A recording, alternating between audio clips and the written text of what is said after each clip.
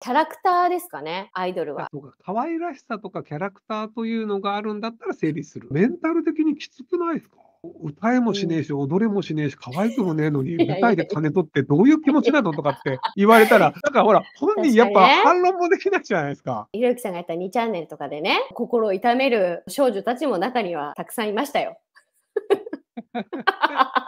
私は別にそういうの見てても全然心を痛めるタイプではなかったので、全然あの見てましたけど、